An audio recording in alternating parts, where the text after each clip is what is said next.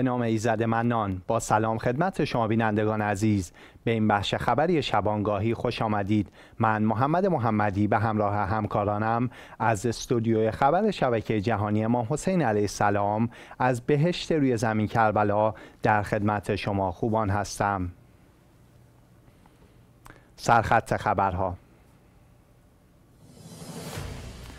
هشدار سازمان ملل درباره ناامنی غذایی حدود ده درصد جمعیت جهان از گرسنگی رنج می‌برند. بررسی تاثیر شعار حسینی در مسابقات ورزشی و هنر اسلامی در نشست مرکز رسانه اورست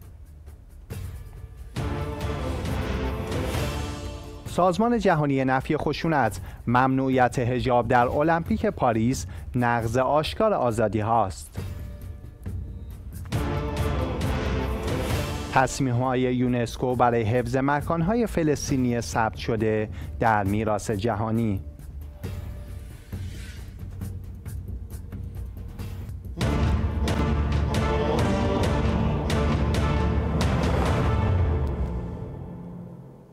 سازمان ملل متحد هشدار داده است که میزان گرسنگی در, در جهان همچنان بالاست و اهداف از بین بردن ناامنی غذایی و سوء تغذیه تا پایان دهه جاری میلادی محقق نخواهد شد.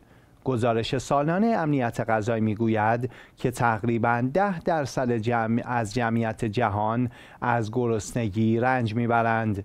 این رقم در آفریقا دو برابر میانگین جهانی است گزارش سازمان ملل عواملی چون جنگ، تغییر اقلیم و تورم جهانی مواد غذایی را به عنوان دلایل این مشکل عنوان کرده است. گزارش سال 2024 سازمان ملل درباره بحران غذایی در جهان نشان می‌دهد بیش از 280 میلیون نفر در 59 کشور مختلف در سال 2023 با ناامنی حاد غذایی روبرو شدند. سازمان ملل خواستار استراتژی های هدفمندتر و منابع مالی بیشتر برای بهبود امنیت غذایی در سراسر جهان شده است. همراه هستیم با آقای دکتر علیرضا الفت کارشناس حوزه اقتصاد و فناوری از تهران سلام و شب بخیر آقای دکتر الفت لطفا تحلیل شما را درباره هشدار سازمان ملل درباره ناامنی غذایی مبنی بر اینکه حدود ده درصد جمعیت جهان از گرسنگی رنج می‌برند بشنویم. سلام عرض کنم خدمت شما و بیننده های محترم. بله به صورت من برم سراغ اصل موضوع. ببینید یک شاخص جهانی وجود داره توی بحث امنیت غذایی که حالا تعریف بانک جهانی با همون عبارتی که به کار برده گفته دسترسی مردم در تمام اوقات به غذای کافی برای داشتن زندگی سالم. خب این در قرن حاضر یه خود به چالشش شده تغییرات اقلیمی و آب و هوایی بالا رفتن قیمت قیمت انرژی و کمبود آب در بسیاری از جاها و به همین صورت رقابت هایی که بر سر زمین ها داره انجام میشه باعث شده که بحث تولید مواد غذایی در, در قرن 21 به یکی از مشکلات بزرگ در قرن بین از به عبارت ابتدای ثبت تاریخیش تا الان تبدیل بشه.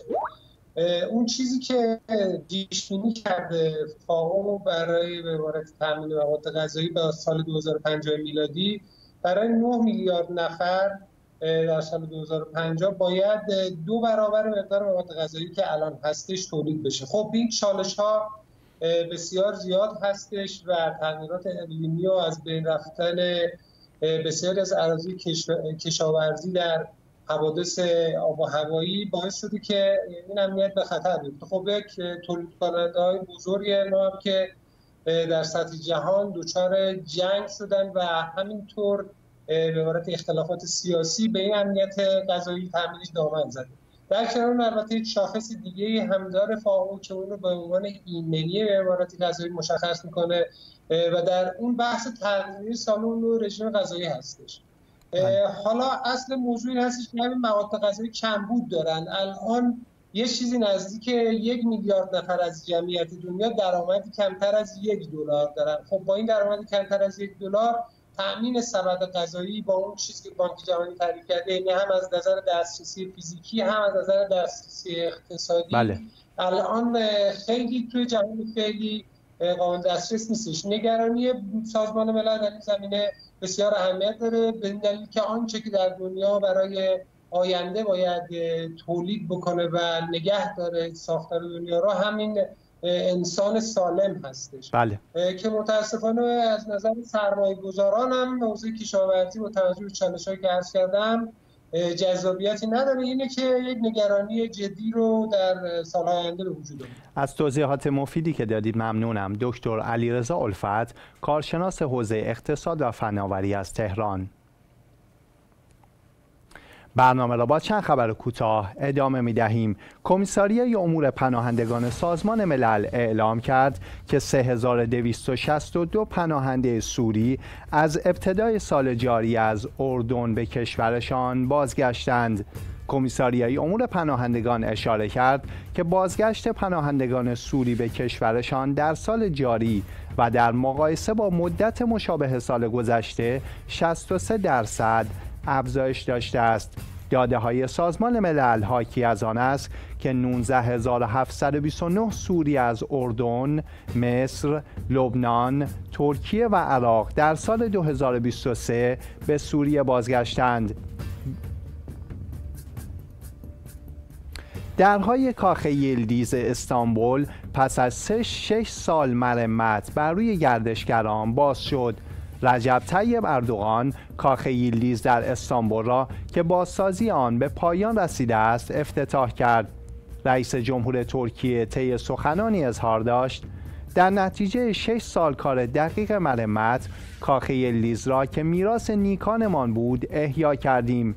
کاخ یلدیز که یکی از نمادهای شهر ما از امروز درهای خود را به روی مردم و بازدید کنندگان از سراسر جهان باز می کند. هیئت باستانشناسی مصر از کشف 63 مقبره خشتی و چنگور ساده که حاوی مقادیر قابل توجهی سکه طلا و تعدادی سکه برونزی از دوران بطلمیوسی در قبرستان ادیر در شهر دمیتای جدید در شمال مصر خبر داد.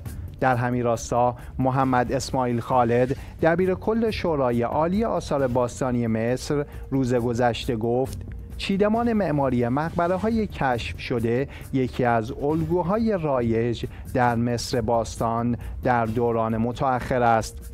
قطب فوزی رئیس هیئت باستانشناسی مصر اظهار داشت. این هیئت همچنین موفق به کشف یک مقبره بزرگ از خشت و گل شد. تغییرات اقلیمی آب و هوا مزارع کشاورزان قلات و منابع غذایی مراکشی را که تحت تاثیر خوشسالی قرار گرفتند به خطر می اندازد.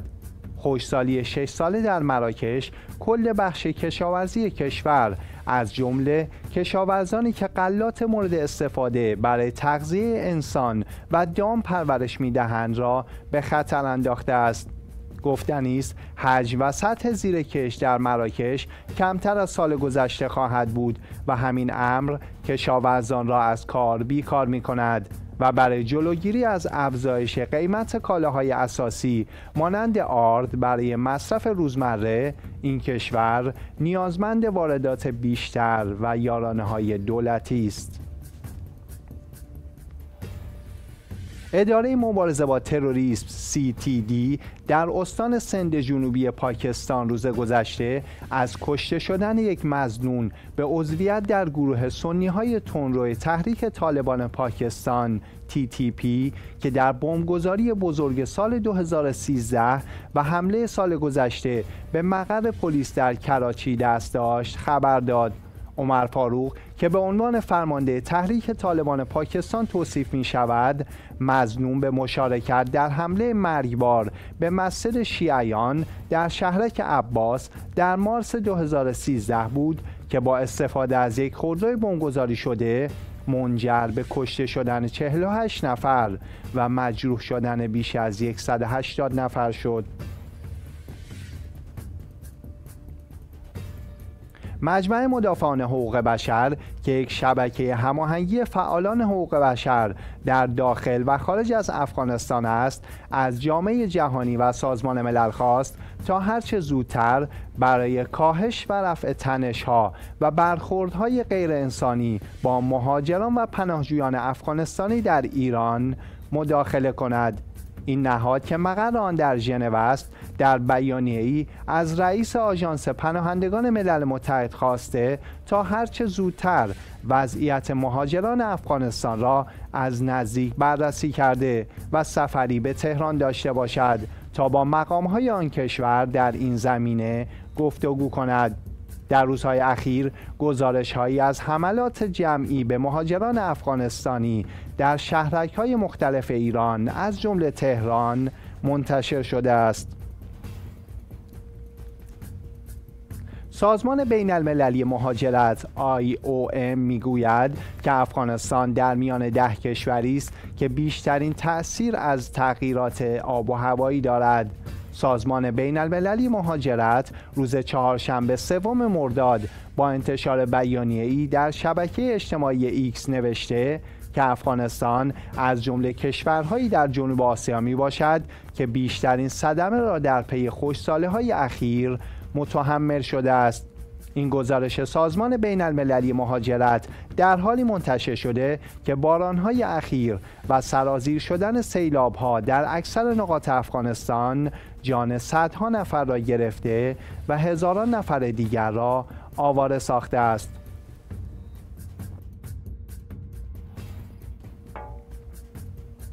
گزارش ها از لزوم تحقیقات جدی در مورد خطرات ذوب یخچال های طبیعی است که می تواند سبب افزایش مخرب سطح دریا شود. در همین راستا دانشمندان در گزارشی می‌گویند که ما باید به طور جدی های طبیعی زمین را نجات دهیم یا باید افزایش فاجعه بار سطح دریا باشیم.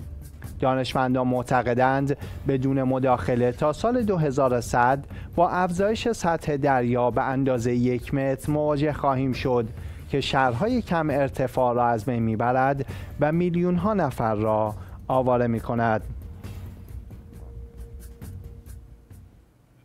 مرکز رسانه اورست تأثیر شعار حسینی در مسابقات ورزشی و هنر اسلامی را مورد بررسی قرار داد. همکارم در گزارش خود به برگزاری نشست اشاره نموده که با هم می‌بینیم. مرکز رسانه اورست نشستی را برای بررسی تأثیر شاعر حسینی در رقابت‌ها و اجرای مسابقات ورزشی و هنر اسلامی با حضور تعداد زیادی از نخبگان در تالار اورست بغداد برگزار کرد. این نشست با سخنرانی قهرمان عرب در ماراتون دکتر سعدون ناصر در مورد تاثیر شاعر حسینی در بهبود عملکرد جسمانی و دستاوردهای آن همراه بود. وی در سخنان خود به ارزش‌های نشأت گرفته از آشورا که موجب افزایش روحیه استقامت و مبارزه در بین ورزشکاران می شود اشاره نمود که حاضران در این نشست با صحنه های احساسی و عبارات فوقالعاده روحیه این قهرمان عرب و عملکرد شایست و سخنرانی استثنایی او را تحسین کردند. پس از آن دکتر احمد جمعه البهادلی استاد فرهنگستان هنرهای زیبا در مورد تاثیر حماسه حسینی بر هنر عربی و اسلامی به ایراد سخنرانی پرداخت. وی در سخنان خود به آثار نقاشی شست هنرمند عراقی و عرب که در آن حماسه کربلا را در سبکهای مختلف هنری اعم از حسی و انتظایی به تصویر کشیدند اشاره نمود. دکتر احمد جمعه البهادلی آثار یاد شده را موجب روشنگری در میان مردم ارزیابی نمود و بر تأثیر حماسه کربلا در طول مراحل مختلف تاریخی و جهانی شدن آن تأکید کرد. اشاره وی به این نکته که حماسه کربلا بعد عمیقی به هنر جهانی میبخشد با استقبال زیادی از سوی حضار مواجه و محتوای ارزشمند سخنان وی مورد تحسین قرار گرفت. پس از آن هنرمند برجسته عراقی صد تار از ذهبی با ارائه کلیپ های از مرسیه ها و اشعار دلنشین حسینی فضای حزن و اندوه را به این نشست افزود. این نشست با ارائه آثار ارزشمندی از سوی شخصیت های برجسته مانند دکتر قاسم لزام، دکتر کریم فرهان، سرلشکر محمود الحیانی، روزنامه نگار جلیل العبودی، کاپتان محمد سلمان، مدیر انجمن هنرهای اصیل و تنی چند از چهره های برجسته به تاثیر سلحشوری های قهرمانانه واقعی کربلا در زمینه های مختلف پرداختند. این نشست با همراهی و تشویق زائد الوصف حاضران به پایان رسید و شرکت کنندگان نسبت به نحوه برگزاری مطلوب و متمایز مراسم حسینی که در آن اخشار مختلف هنری، ورزشی، رسانه ها، جامعه، دانشگاهیان و نویسندگان شرکت داشتند، تحسین خود را ابراز نمودند. سازمان جهانی نفی خشونت مسلمان آزاده در بیانیه اعلام کرد که ممنوعیت هجاب در المپیک پاریس نقض آشکار آزادی هاست. به گزارش در این زمینه توجه فرمایید. سازمان جهانی نفی خشونت مسلمان آزاده تصمیم وزیر ورزش فرانسه مبنی بر ممنوعیت حجاب ورزشکاران زن فرانسوی شرکت کننده در المپیک 2024 پاریس را به شدت محکوم کرد. این سازمان تاکید کرد که این اقدام نجات پرستانه نقض آشکار آزادی های تضمین شده بین المللی است. به گزارش خبرگزاری اخبار شیعه سازمان جهانی نفی خشونت مسلمان آزاده طی بیانیه‌ای ضمن اظهار تأسف از تصمیم فرانسه اظهار داشت این رفتار نجات پرستانه غیر قابل قبول و بیتوجهی شدید به احساسات مسلمانان ساکن در داخل و خارج فرانسه است. علاوه بر اینکه نقض آشکار قوانین و کنوانسیون های بین المللی و تلاش برای تضعیف هویت طبیعی زنان مسلمان است. این سازمان از های فرانسوی خواست تا این تصمیم خودسرانه را بررسی کرده و به دلیل آسیبی که به تصویر دموکراسی و آزادی های تضمین شده توسط دولت فرانسه که معتقد به جدایی دین از دولت است آن را لغو کنند. سازمان جهانی نفی خشونت مسلمان آزاده تاکید کرد که این تصمیم اصول آزادی و برابری مورد ادعای فرانسه را نقض می کند و تبعیض علیه زنان مسلمان را ترویج می کند. سازمان بین المللی بدون خشونت از جامعه بین المللی و سازمان های حقوق بشری خواست در برابر این تصمیم بایستند و دولت فرانسه را برای پس گرفتن آن تحت فشار قرار دهند. مسلمان آزاده همچنین تاکید کرد که آزادی مذهبی یک حق اساسی است که باید در هر مکان و زمانی از آن محافظت شود. سازمان جهانی نفی خشونت در پایان بیانیه خود گفت ورزش باید عرصه تفاهم و همکاری بین مردم باشد نه عرصه تبعیض و آزار و اذیت. یونسکو سه تصمیم برای حفظ مکانهای فلسطینی ثبت شده در میراث جهانی اتخاذ کرد. توجه شما را به گزارش همکارم در این زمینه جلب می کنم.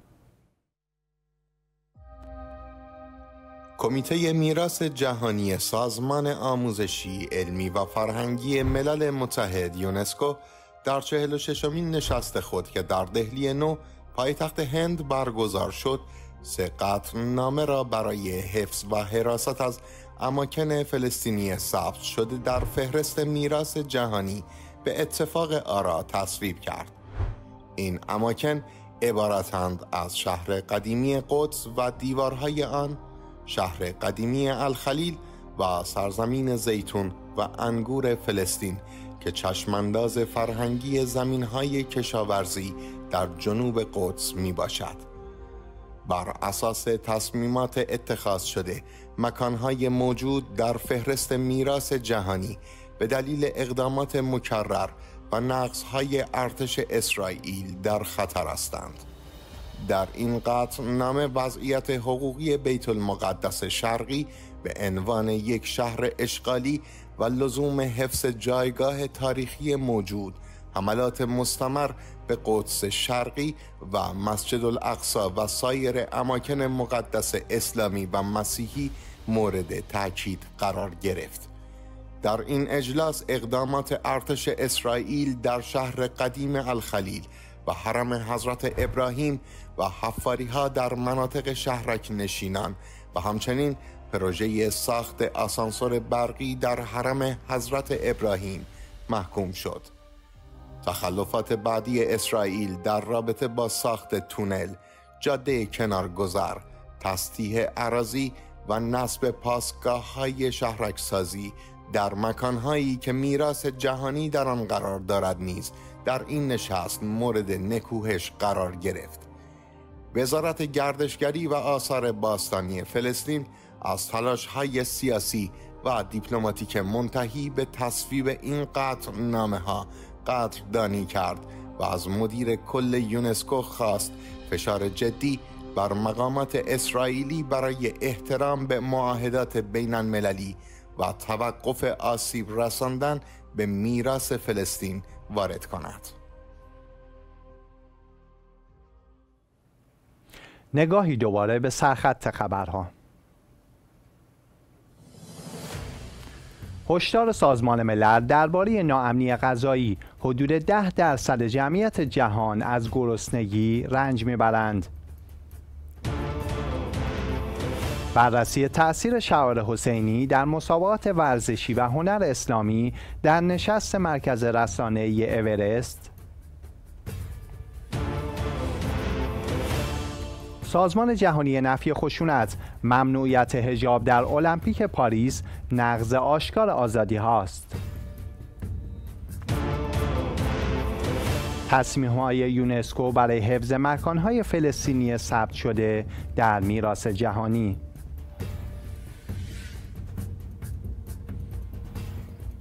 بینندگان گرامی به پایان بولتن خبری امشب رسیدیم. ممنونم که در این بخش خبری همراه ما بودید. شب همگی شما عزیزان به خیر. خدای دو جهان. نگهدارتان باد.